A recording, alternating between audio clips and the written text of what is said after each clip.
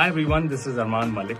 The 90s is a magical era of music, and one of my favorite songs from the 90s was O Sanam by Lucky Ali. I'm going to sing a few lines of that song just for you guys.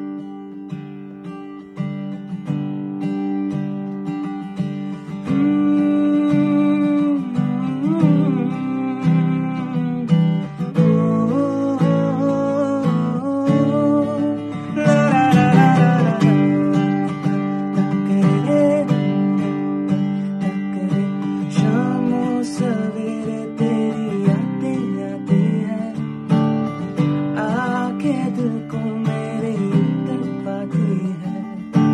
ओ सनम मोहब्बत की कसम।